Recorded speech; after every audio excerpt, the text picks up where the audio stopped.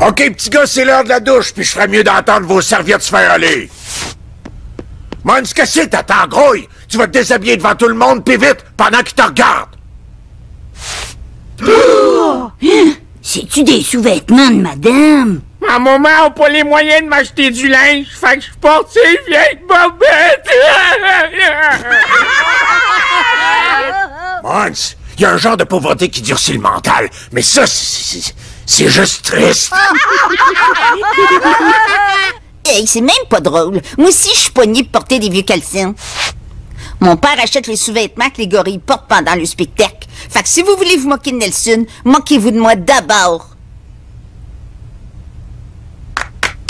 Simpson, j'oublierai pas ce que t'as fait. Fait qu'à partir de ce temps, toi et puis moi, on est collés comme deux fesses.